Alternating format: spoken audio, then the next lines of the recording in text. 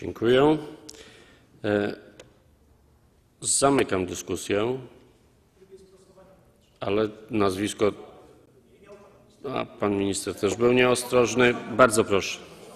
Dobrze, bardzo proszę. W trybie sprostowania.